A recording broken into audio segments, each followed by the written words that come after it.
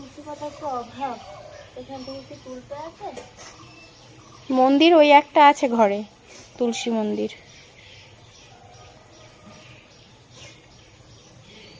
তুলসী মন্দির থেকে নাকি তুলসী পাতা তুলতে নেই।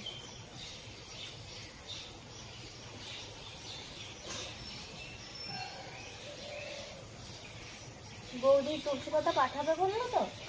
বলল বেশি নেই যেটুকু পারবে নিয়ে আসছে বলল। চারটে তুল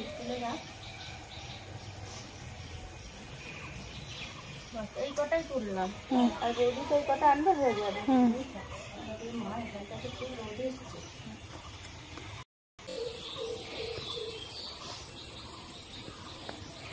দুব্বো কোথায় পাবো? দুব্বই তো প্রবলেম কোথায় পাবি? ছিল এখন তো নেই এখানে দুব্বো এই গোপালের বউকে ফোন কর একটা। আর রূপসা থেকে কটা দুব্বো তুলে পাঠিয়ে দাও না বৌদি। আমাদের বাড়িতে একটু দুব্বো নেই। ফোনটা? তুলসী পাতা। ফোনটা ওখানে রয়েছে করো। দাঁড়াও দাঁড়াও। রূপসা দিয়ে যাবে এখানে এসে। দুব্বো আর তুলসী পাতাটা রূপসা এসে দিয়ে যাক তাহলে। হ্যাঁ। তাহলে একটু দুব্বো আর কটা তুলসী পাতা পাঠিয়ে দাও। বাড়ির পাশে তুলসী গাছও আছে। অনেক হ্যাঁ তুলসী পাতাও তো নেই বাড়িতে দেখি। আমি এখন যাব আমার পা লেগে যাচ্ছে আমি হাঁটতে পারছি না। না না তোমাকে যেতে হবে না। বাবা এটা কি কালারেরগুলো এটা আবার ওটা অন্য কালার হয়েছে এটা? হ্যাঁ দু রকম আছে ছাতা একটা পেয়েছ? আর আর ছাতা পাওনি? সব কোনো দোকান খুলিনি। আস্তে আসো মা। তলার থেকেই নিলাম। আস্তে ওঠো। তলার থেকে ওই ছেলেটার বাবা ছিল। হ্যাঁ। বলছে সাত আটশো নিয়ে মনে আছে দেখছি বাড়ি। এই একশো একশো টাকা নিয়ে।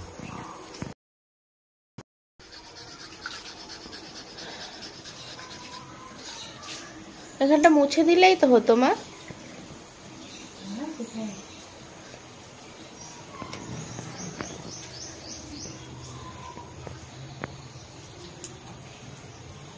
বোন ওদিকে চন্দন ঘষছে দাদুকে সাজাচ্ছে। বাবু গেছে আবার বাজারে। রজনীগন্ধার মালা আনতে গেছে পায়নি ছাতাও পায়নি ছাতাও আনবে।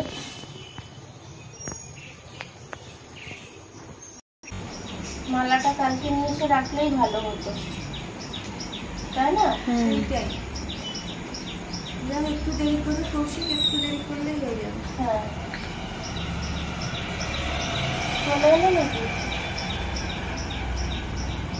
এগুলো তো মানে একদম ঠিক হেলে পড়ছে। সোনা তো ঘুমাচ্ছে এখনও।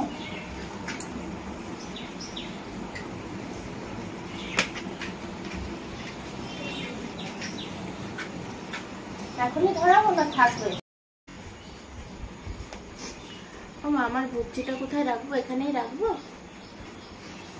হ্যাঁ রাখো রাখো ওই পাশটা দিয়ে রাখো। নাহলে তো জায়গা হবে না চালগুলো সব ওইদিকে দিয়ে দেবো। কৌশি রাখলে বলে দেবো? হ্যাঁ? হ্যাঁ বলে দিবা? হ্যাঁ।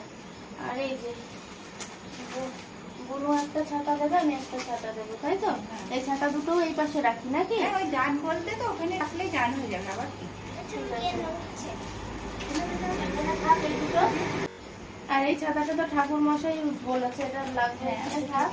আচ্ছা মোটামুটি তো গোছানো আছে আর তো কিছু বুঝতে পারছি না থাক এসে গুছিয়ে নেবে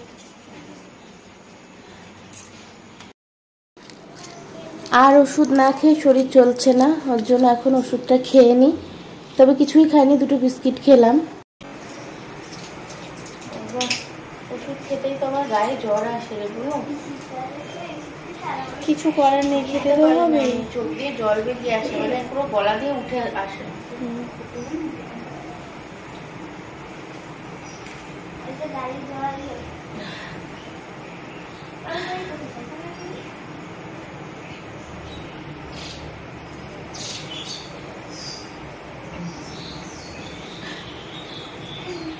চোখ দিয়ে পুরো জল বেরিয়ে আসে।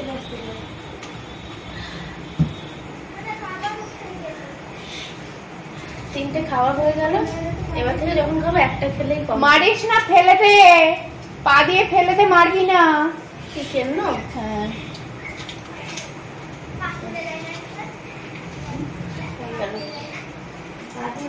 এবার ঠাকুর মশাই আসবে।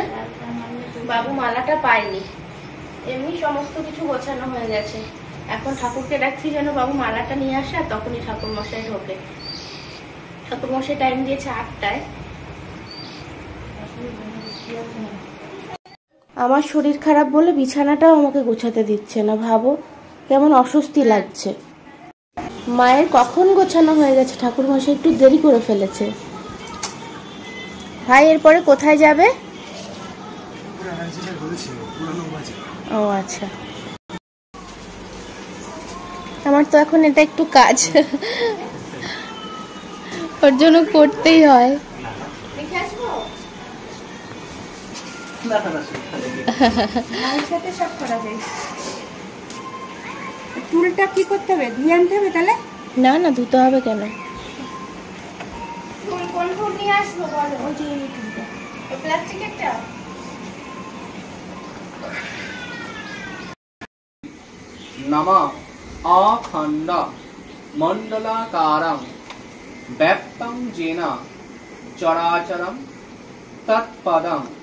दर्शितं येन तस्मै श्री गुरुवे नमः।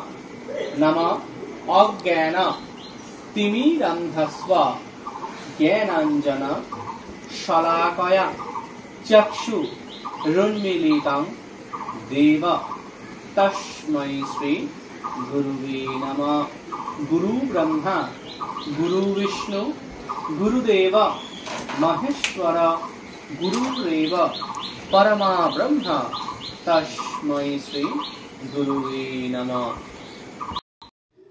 এখন আবার মা ঘরে আসলো, চুলটা আছড়ে সিঁদুর পরে, আলতা পরে, তারপরে আবার বসতে হবে। ঠাকুরমশাই বললেন যে, কাকিমা, তাহলে চুলটা আছড়ে আপনি আলতাটা পরে আসুন। তো মা তো আলতা পরতে পারে না, আমি পরাতাম। তো বুনু বলল, ঠিক আছে দিদি, আমি পরিয়ে দিচ্ছি। ওর জন্য এখন আলতা পরে আবার ওখানে বসবে, কাজের ওখানে। অনেক বড় মালা হয়ে গেছে। ওই তো ঠিক আছে। হয়। এই মালার জন্য কতবার করে গেলে বাবু? কিছু করার নেই। তাই তো। বুনু আবার এদিকে ঠাকুর মশাই আর মায়ের জন্য একটু শরবত বানাচ্ছে। মাঠটা ফ্রিজে রাখতে হবে না।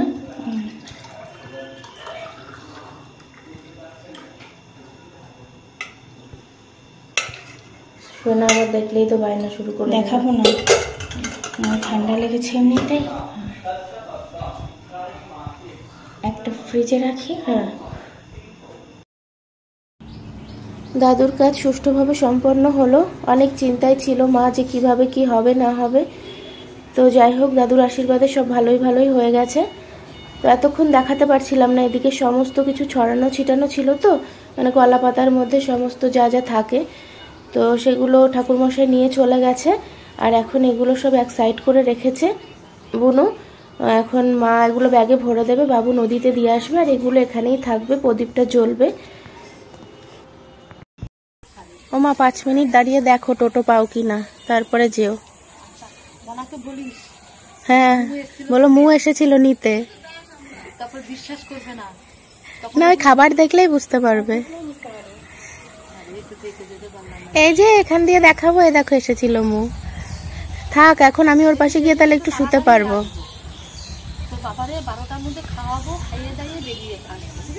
নিজেরা তো কিছু করতে পারে না দাঁত বের করতে পারে। মানে শুধু লোকের নামে নিন্দা আর দাঁত বের করা আর কিছু পারে না। তুইও ভেস্তি বেঁধে দিবি। যে দাঁত বের করবে তার এম করে দিবি। এই দেখ দেখ দিবি। একজন দাঁত বের করলে আরেকজন দাঁত বের করবে। আচ্ছা আসো। আচ্ছা ও মা ওখানে গিয়ে দাঁড়াও টোটো পেলে পেতে পারো। দেখো পাঁচ মিনিট দাঁড়িয়ে যদি পাও তাহলে। হ্যাঁ। মা এসেছিল মা তো বেরিয়ে গেল দেখলে? তো বোন টোটোতে তুলতে গেল টোটো আর পেল না। আমাদের এখান থেকে না টোটো পাওয়া যায় না রানিং টোটো যায়। কিন্তু ভর্তি যায়, ওর জন্য যাওয়াই যায় না, হেঁটে হেঁটেই যেতে হয়। ওই জন্য মা হেঁটেই চলে গেল অরিন্দম আবার ফোন করেছিল যে আমি বেরিয়ে যাচ্ছি, নাহলে মা আর একটু থাকতো। আর আমি একটু শুয়েছিলাম। তারপরে মা আসলো, উঠলাম, দেখো চোখ মুখের অবস্থা। তো এখন আবার একটু শুয়ে গিয়ে, বেশি বাজে না, সাড়ে তিনটে বাজে। আর ওই যে সোনা ঘুমাচ্ছে, দরজা বন্ধ। মা বোনকেও বললাম একটু শো কারণ এখন সবে সাড়ে তিনটে বাজে, সেই মানে সকাল থেকে সবারই মানে চোখ মুখ দিয়ে ধোয়া বেরোচ্ছে। তো এখন একটু রেস্ট করি। তোমাদের সাথে আবার কালকে দেখা হবে, ঠিক আছে? আজকে এখানেই এন্ড করে দিচ্ছি ভিডিওটা। তো অনেক টেনশানে ছিলাম, যাই হোক, হয়ে গেল।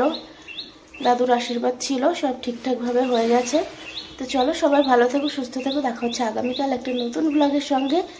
আর আমার মুখটা একটু অ্যাভয়েড করো, ঠিক আছে? দুদিন, কারণ ঠান্ডা, জ্বরে আমার একদম অবস্থা খারাপ।